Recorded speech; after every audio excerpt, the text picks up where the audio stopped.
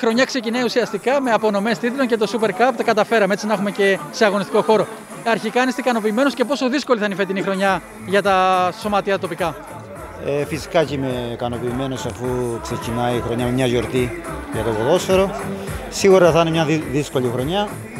Ε, καλούμαστε όλοι μαζί σωματεία, έψη, διαιτητές, παρατηρητές, όλοι τα πάντα να τηρούμε τα πρωτόκολλα όπως πρέπει. Ε, οπωσδήποτε χρειάζεται μια πρόληψη, μια υπευθυνότητα. Ε, επιπλέον θέλω να δώσω συγχαρητήρια στα παιδιά για το πολύ καλό αγωνιστικό πρόσωπο μέσα σε αθλητικά πλαίσια που έγινε. Να ευχηθούμε καλή ποδοσφαιρική χρονιά, ε, χωρίς τραυματισμούς και το κυριότερο με υγεία πάνω απ' όλα, γιατί θεωρώ ότι το κυριότερο αγαθό είναι. Τα όλα θα έρθουν με τη σειρά. Okay.